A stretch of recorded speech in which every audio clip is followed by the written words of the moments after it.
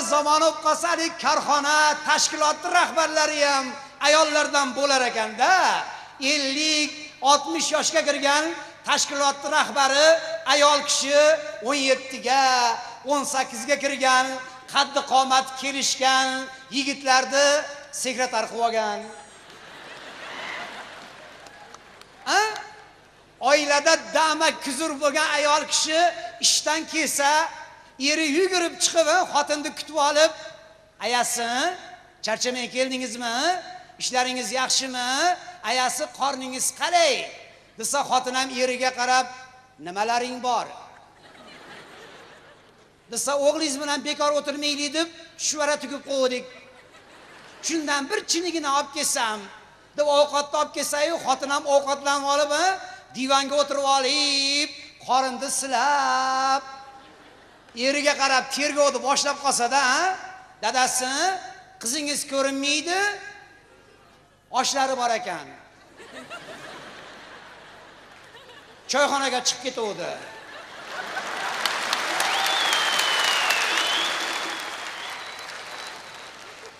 A bo'lmasa o'g'lingizni chaqiring bir nasihat qilib beraylik.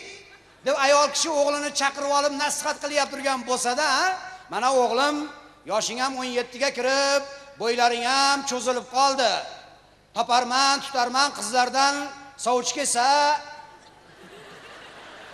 seni ham xotinga berib yuboramiz. O'shaning uchun o'g'lim a bema'ni joylarda yurmagin. Yomon qizlar ko'p. Yana bizni sharmanda qilib turmagin ha o'g'lim? Deb nasihat qilyapti turgan bo'lsada ayollar zamoni bo'lib qolsa bitta tomoni zo'r bo'lar ekanki qizlardan yigitlarga sovchi kelar ekanda hozir boshlanib ham qoldi o'zi. Endi sovchi kim bo'lishi mumkin? Kelinni tog'asi amakisi sovchi bo'lib kelishib yigitni dadasiga qarab qulchilikka keldik. Sizda o'g'il bor ekan. Bizda qiz. Shu qizimizni ko'ngli o'g'lingizga tushib qolibdi. Savob ishni boshlab ikkalasini boshini birlashtirib qo'ysak nima deysiz? Desa yigitni dadasi ham sovchilarga qarab endi o'g'il bola birovni xasmi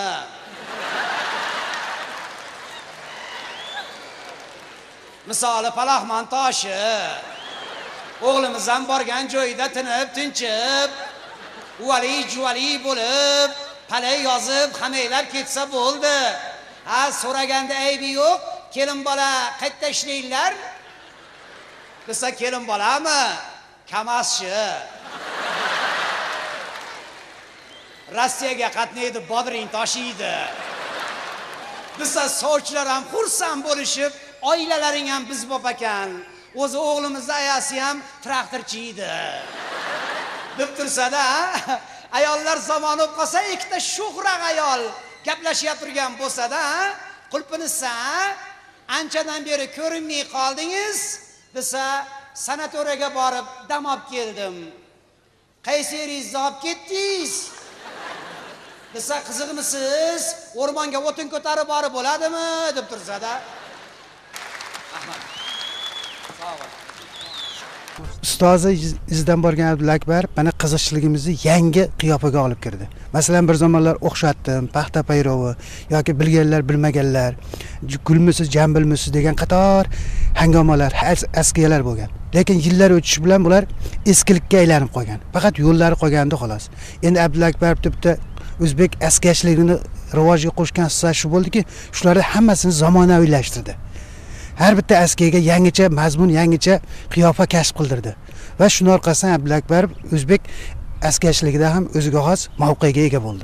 Abdulla akbarov faqat aytmaydi o'qiydi va o'qiganlarini yozib o'zi ijod qilganlarini qog'ozga tushirib boradi. Mana bugunga kelib abdulla qiziq nima deydi nomli bir yaxshi kitob paydo bo'ldi. Bu kitob yana bir tomoni shundaki kitob yozishga uncha qiyin bo'lmadi. O'sha qog'ozlarga tushirib borgani hamma hajviyalarni bizga bir tomondan qo'l keldi. Avvalo assalomu alaykum aziz ustozlar do'stlar birodarlar singiljonlar opajonlar. Hammalaringni bayramlaring bilan chin qalbimizdan tabriklaymiz. Bayramlaring qutlug' bo'lsin. Omon bo'linglar sog' bo'linglar. Rahmat. Hammamizda ham farzandlarimiz bor yoshlarimiz bor. Mana shu yoshlarimiz farzandlarimiz siz bilan bizdan ham bilimli ilmli. Siz bilan bizdan ham toparman tutarman. Siz bilan bizdan ham jahon keziydigan ajoyib farzandlar bo'lsinda. Hozirgi zamonni bolalari o'sib ketganda bular kompyuter zamonini bolalarida. Mana oddiy misol maktabda adabiyotdan imtihon bo'lyaptirsa abdurahim imtihon topshirgani kirib ketibdiyu.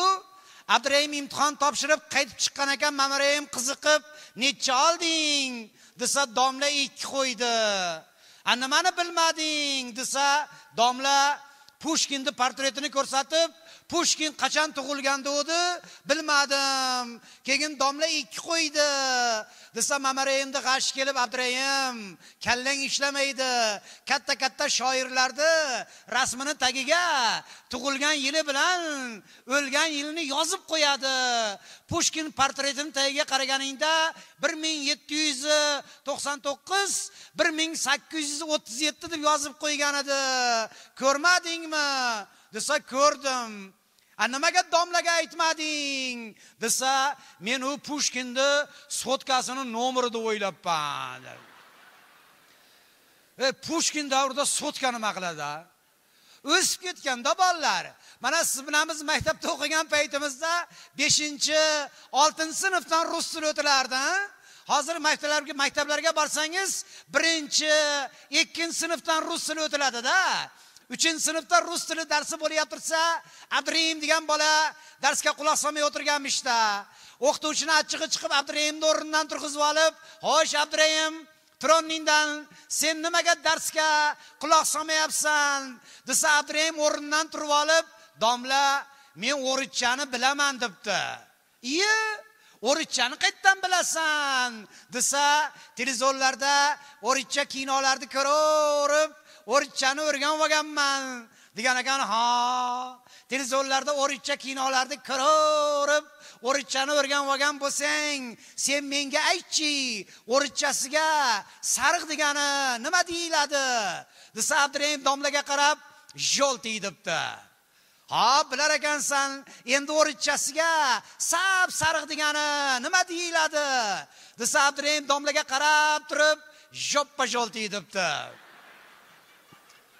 voy domla tan berib yuboribdi молодец zo'r bola ekansan endi sen menga aytchi o'richasiga bu yoqqa kel degani nima deyiladi? Desa abdurahim domlaga qarab idi сюда degan ekan. Ha bilar ekansan endi o'richasiga bu yerdan ket degani nima deyiladi? Desa abdurahim domlaga qarab o'ylanib turib pasholti yo so'kinishmi ha domla topdim. Men sizga bu yerdan ket deyishim uchun narigi tomoningizga o'tib olib idi suvda deyishim kerak degan ekan. O'sib ketganda bolalar mana shunday bolalar bilan muomala qilyap turgan ustozlarga o'qituvchilarimizga ming marta rahmat to'g'rimi? Umrlari uzoq bo'lsin sog' bo'lishsin omon bo'lishsin. Iloyim doimo yurtimiz tinch bo'lsin. Maktabda harbiy ta'limdan dars bo'layotsa o'qituvchi yana abdurahimni o'rnidan turg'izibdida. Abdurahim senga harbiy ta'limdan savol urushdasan to'la qurollangansan. Orqangdan ikkita dushman kelyapti oldingdan ikkita dushman kelyapti. Nima qilasan? Desa hozirgi zamonni bolalari video filmlarni jangari kinolarni ko'raverib haligi aqli o'sib ketmaganmi? Abdurahim domlaga qarab domla birinchi orqadagi dushmandan ehtiyot bo'lish kerak debdi. Birinchi orqadagi dushmanlarni yo'qotib keyin oldindagi dushmanlarni avtomat bilan qirib tashlayman. Desa o молодец fantaziyang yaxshi. Endi mana shu vaziyatni murakkablashtiramiz. Urushdasan atrofing to'la dushman. Snayper seni mo'ljallab turibdi. Nima qilasan? Desa birinchi snayperni yo'qotaman. Keyin atrofdagi dushmanlarga granata irg'itib avtomatni man qirib tashlayman. Desa o fantaziyang yaxshi. Endi mana shu vaziyatni yana ham murakkablashtiramiz. Urushdasan atrofing to'la dushman. Tanklar bostirib kelyapti samolyot bostirib kelyapti. Nima qilasan? Desa abdurahim domlaga qarab domla urushga mendan boshqa odam bormaydimi? deyarmish. Shuning uchun birinchi o'rindan tinchlik bo'lishi kerakda. Bahor bayramlaring qulluq bo'lsin mana bahor bayrami uyg'onish faslida uyg'onish fasli bo'lganligi uchun bahor bayramlarida to'ylarimiz ham juda ko'p bo'ladi to'g'rimi? Mana davramizda uylanganlar bor. Uylanmaganlar почти yo'q a endi uylanish yaxshiyu. Shu yigit kishi yangi uylangan paytida birinchi marta qaynatasini dada degani qiynaladi. To'g'rimi? Ammo qaynota ham bir marta dada degizib olsa keyin umr davomida dadalab yuraverasizda. Va abdurahim degan yigit uylanibdida oradan besh olti oy o'tgandan keyin abdurahim yangi kelinchakni yoniga olib qaynotasini qaynonasini qayinsingillarni qaynog'alarni umuman ilonboshlarni ko'rgani borgan. Shunaqa deyiladida kuyov bola abdurahim qaynotasi bilan qaynog'alari bilan birga o'tirgan kelin bola singillari bilan ayasi bilan birga o'tirgan. Bir payt kuyov bola abdurahim tashqariga sigaret chekkani chiqsading yangi kelinchakni ayasi qiziga o'rgatyapti turganmishda qizim erkak kishi yangi uylangan paytida minilmagan jilovlanmagan otga o'xshaydi. O'sha paytda eringni jilovidan mahkam ushlab olsang ering umring davomida seni aytganingni qiladi sen oilada dama kozir bo'lasan. desa yangi kelinchak hayron bo'lib aya jilovdan qanday qilib mahkam ushlayman desa kelinchakni ayasi o'rgatibdiki ozgina ayyorlik ishlatasan. Mana bugun uylaringga o'ttiz qirq qadam qolganda o'zingni yerga tashlab yuborib oyog'im qayrilib qoldi. Deb bahona qilib yotib olsang ering seni ko'tarib. Uyga olib kirib ketadi. Shunaqa qilib sekin sekin eringni jilovidan mahkam ushlab olasan deb qiziga o'rgatyapti tursa bu gaplarni kuyov bola abdurahim ham eshitib qolganda. Haqiqatdan ham kelin bola ayasini aytganini qilib uylariga o'ttiz qirq qadam qolganda o'zini yerga tashlab yuborib voy oyog'im qayrilib qoldi deb yotib olibdi yangi kuyov kelinchakni ko'tarib olgan. Kelinchakni og'irligi ham sakson kilo bor ekanda. Kuyov bechora o'n besh qadam ko'tarib boribdi yigirma qadam ko'tarib boribdi. Iloji yo'q. Kuyovni qo'lidan mador ketib kelinchikni yerga tashlab yuboribdi kelinchi ham pop etib yerga tushib yotgan joyida ha abdurahim aka nima bo'ldi? desa abdurahim kelinchakka qarab otni jilovi uzilib ketdi deyarmish. Abdulla akbarov deganda odamni qulog'iga qiziqcha akamizni o'ziga xos betakror urg'u bilan gapiriladigan ohanglari keladi. Keyin u kishini hozir javobligi hamisha hazilga shay qiyofasi odamni ko'zini oldiga keladi. Men abdulla akani boshqa qiziqchilarni kamsitmagan holda bir jihatlarini alohida ta'kidlab o'tishni istardimki bu ijodkorligi zamon bilan hamnafas hamqadam yurishlari. Bugungi kunda zamon o'zgaryapti. Judayam yangiliklar tevarak atrofimizda ko'p. Va abdulla aka bir novator qiziqchi sifatida bugungi kompyuter bormi bugungi e, qo'l telefonlari bormi bugungi kserokopiya bormi? Mana shularni san'atimizga qiziqchilik san'atiga birinchi bo'lib olib kirgan bizni e, milliy qiziqchimiz hisoblanadi. Abdulla akani ijodkor sifatida juda ko'p jihatlarini ta'kidlab o'tish mumkin. Lekin u kishini e, judayam ko'p o'qishlarini dunyo adabiyotidan boxabar ekanliklarini va har xil e, janrlarda har xil yo'nalishlarda betinim mehnat qilayotganliklarini alohida e'tirof etib hisobga olib o'tish kerak. Bizni o'zbek yigitlari doimo o'zini ayolini e'zozlab maqtab yuradida. Sizlar hech qachon erkaklardan nolimanglarda erkaklar doimo o'zini ayolini maqtab yuradida. Ayniqsa haligi ellik gramm yuz gramm olishgandan keyin joyiga keltirib maqtashadida to'g'rimi? Qarang uchtasi ellik grammdan ichib olibdiyu xotinlarni maqtab qolishibdida. Birinchisi boshlabdi. Meni xotinimni kallasi zo'r ishlaydi. Meni xotinim kompyuterga o'xshaydi. Desa ikkinchisi meni xotinim ksrokopiyaga o'xshaydi. A nimaga ksrokopiyaga o'xshaydi desa beshta qiz tug'di. O'ziga o'xshaganlarni ko'paytiradi xolos. Biror marta mendan ham nusxa ko'chirmaydi. Desa uchinchisi meni xotinim sotviy telefonga o'xshaydi. A nimaga sotviy telefonga o'xshaydi desa a pul tugashi bilan gaplashmay qo'yaveradi deyarmish.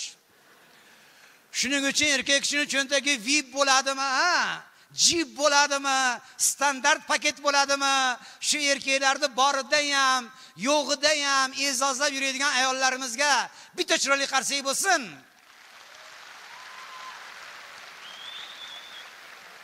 Omon bo'linglar sog' bo'linglar. Ichlaringda doktorlar yo'qmi? Bormi? Ve doktorlarga ming marta rahmat. Assalomu alaykum. Opajon bayramlar bilan. Hop, hop, hop, hop. ayollar zamoni yoqib qolibdida sizlarga o'ttiz yil bor hali unga. O'ttiz yilgacha yashab olaylik erkaklar. To'g'rimi? ichlaringda doktorlar bo'lsa doktorlarga tan berish kerakda. Doktorlarimiz haligi gippokratni qasamini ichganda to'g'rimi? Doktorlar nechida borasiz? Qanday holatda borasiz? Xohlaysizmi yo'qmi? Haligi savolingizga javob beradida kechqurun soat bir doktorni eshigini qo'shnisi taqillatibdida. Doktor o doktor uzr doktor molim kasal bo'lib qoldi. Shuni ko'rib bering desa doktorni achchig'i chiqib og'ayni soat bir bo'lsa. Uni ustiga men odam doktor bo'lsam molingizni qanaqasiga ko'rib beraman? Desa yuravering doktor ko'rib beravering mol bilib o'tiribdimi? degan ekanda. Ammo doktorlarimizni bir ajoyib odati borki haligi doktorlarni shunaqa bir ajoyib odati borki yaxshi niyatli insonlarda doktorlar to'g'rimi? Chunki ularni meditsinani boshi yaxshilik bilan boshlanganda mana bilasizlarki meditsinani otasi bor ibn sino. Adashmadimmi? O'sha ibn sino so'zidan meditsina so'zi kelib chiqqanda yevropada haligi osiyoda madadi sino madadi sino bo'lib yevropada avitsena avitsena bo'lib keyin meditsina so'zi kelib chiqqanda to'g'rimi? O'sha ibn sino bobomizni bitta zo'r gaplari borda.